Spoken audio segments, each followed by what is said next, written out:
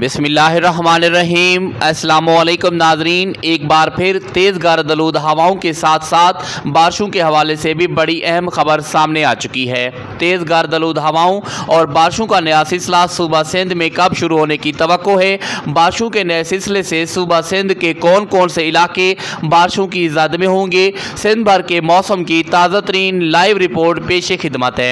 लेकिन नाजरीन तरीन तफसीत में जाने से पहले आप सबसे गुजारिश है कि सुबह सिंध के मौसम के हवाले से लम्हा ब लम्हा बाखबर रहने के लिए हमारे चैनल वेदर इन्फो को सब्सक्राइब और वीडियो को लाइक कर दें। बहुत शुक्रिया। नाजरीन, महकमा मौसमियात और तमाम मौसमियाती मॉडल्स की ताज़ा तरीन रिपोर्ट और हमारी पेशगोई के मुताबिक एक बार फिर सुबह सिंध के मुख्तलिफ़ इलाकों में मौसम में बड़ी तब्दीलियाँ रूनुमा होने जा रही हैं। क्योंकि नाजरीन सुबह सिंध के अक्सर और बेशतर इलाकों में बारिशों की वापसी के रोशन इम्कान बनते नज़र आ रहे हैं। लेकिन नाजरीन, बारिशों से पहले गर्द आलूद तेज़ हवाएँ सुबह सिंध का रुख करेंगी। हवाओं का ये सिलसिला कल यानी चार अप्रैल से सुबह सिंध में दाखिल होगा।